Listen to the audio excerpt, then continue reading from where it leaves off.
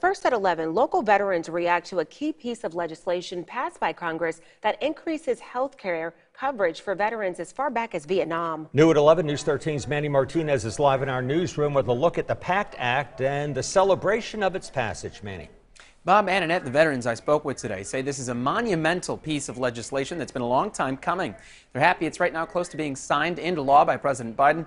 They also say it took far too long you come back today from a deployment, but you don't know what's going to happen to you five years from now. 21 year Army veteran Todd Haviland was exposed to toxic chemicals while serving in Haiti. You know what? If the average person actually knew what the military was doing around the world and what we've been exposed to and what we've been involved in, I, I think there'd be a lot more people standing up going, hey, you know, this is screwed up and we really need to figure out a way to unscrew it. Haviland is a staunch supporter of the PACT Act passed by the Senate on Tuesday.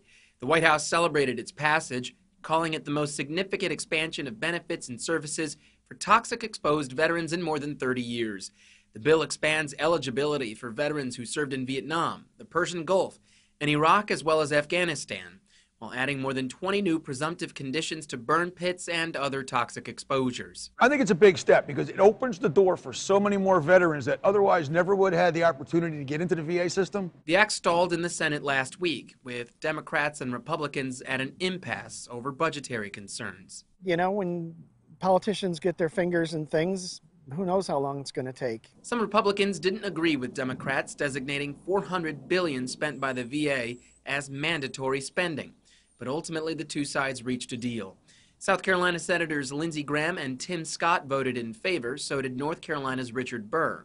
Thom Tillis voted no. Of those four, only Senator Graham voted yes last week. Haviland says Tuesday's vote is thanks in large part to the thousands of veterans sending letters and making phone calls, plus all those picketing in Washington over the weekend. It's a big win. It's a big win for all of us. And I, and I think it's something that everybody that's been involved at no matter what level should be proud of. And Bob and Annette, President Biden says he'll sign the legislation as soon as it hits his desk. You can track the bill's path through Congress and the deal the two sides reached on our website right now at WBTW.com. Live in the newsroom, Manny Martinez, News 13.